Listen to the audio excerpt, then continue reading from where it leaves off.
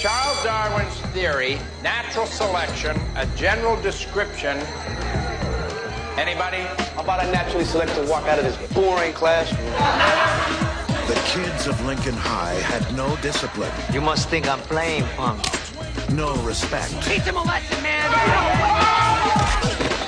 No one to look up to, You had a job you were supposed to do last night.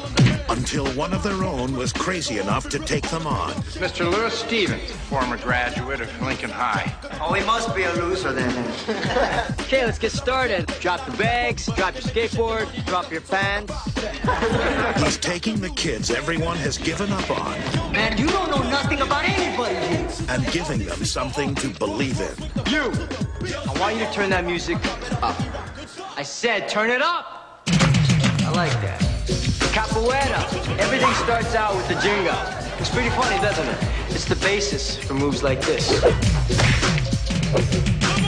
And this. You ready to try this yet? He's earning something no one knew they had respect. You have a name? Donovan. See you tomorrow, Donovan. Okay.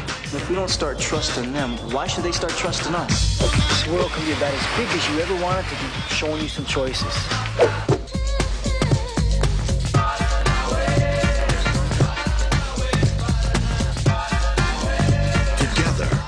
Changing their lives. Stripping cars is all I know. I like to think you're better than that.